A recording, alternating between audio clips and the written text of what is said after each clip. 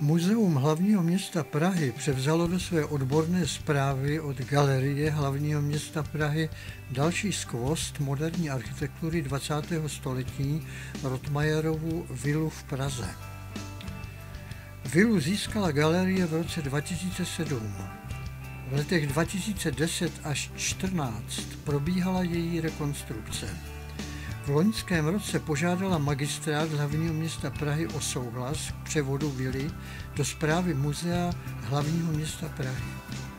Muzeum úspěšně provozuje Millerovu vilu ve stejné lokalitě. Muzeum hlavního města Prahy zřídí ve vile stálou expozici Otto Rotmajer Žák a Josip Plečník jeho učitel. Více nám poví představitelky obou institucí. Došlo k tomu proto, že Muzeum hlavního města Prahy již řadu let od roku 1995 spravuje nedalekou Millerovu vilu, která byla nejenom dokončena, eh, je v provozu už od roku 2000, ale byl již dokončen i výzkum díla Adolfa Lose, eh, dokumentačním centrem Millerovy vily pod vedením hm, kurátorky kolegyně Šatkovské a my jsme měli velikou chuť k tomu, abychom vlastně určitým způsobem propojili Rotmajerovou vilu s Millerovou vilou. E, o tom jsme jednali již v době, kdy hlavní město Praha zakoupilo tento objekt v roce 2007. E, tehdy byla, byla svěřena galerii, pod jejíž gestcí proběhla rekonstrukce. A v roce minulém došlo k tomu, že vlastně byla obnovena jednání o tom, že by Rotmajerovu vilu z hlediska logiky věci a toho, kdo se čím zabývá, měl dostat Muzeum hlavního města Prahy, protože Galerie hlavního města Prahy eh, se moderní architekturou nezabývá, zatímco muzeum.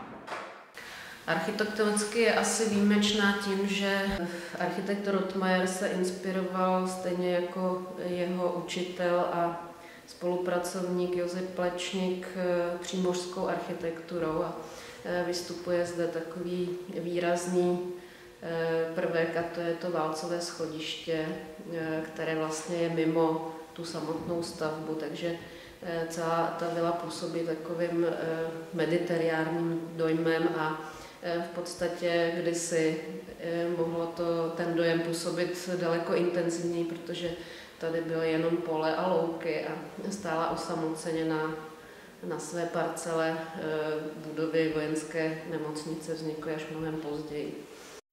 My samozřejmě známe eh, tvorbu architekta Otto Rotmajera především z jeho asistence na rekonstrukci Pražského hradu, kdy spolupracoval se slovinským architektem Josifem Pračníkem.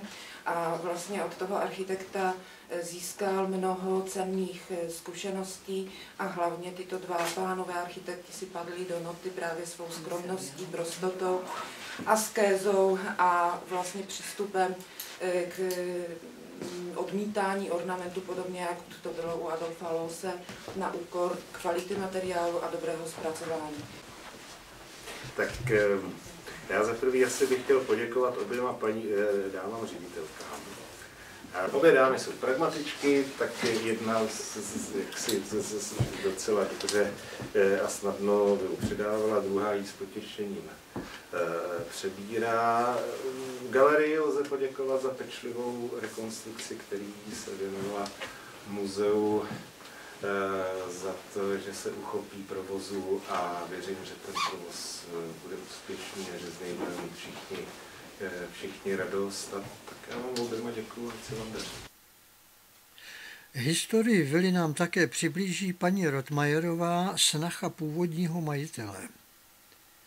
Jak vy vzpomínáte tady na ten život? No, bylo to krásný. Já totiž jsem měla to štěstí, že jsem měla fantastickou tchýni.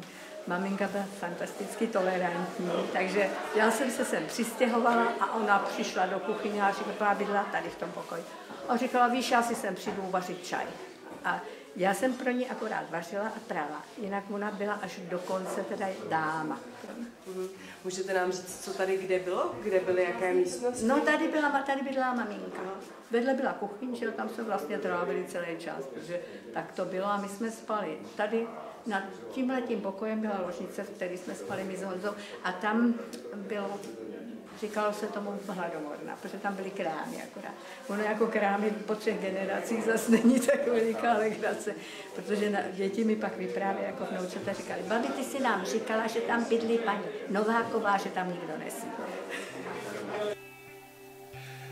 Malebná zákoutí vily inspirovala řadu návštěvníků.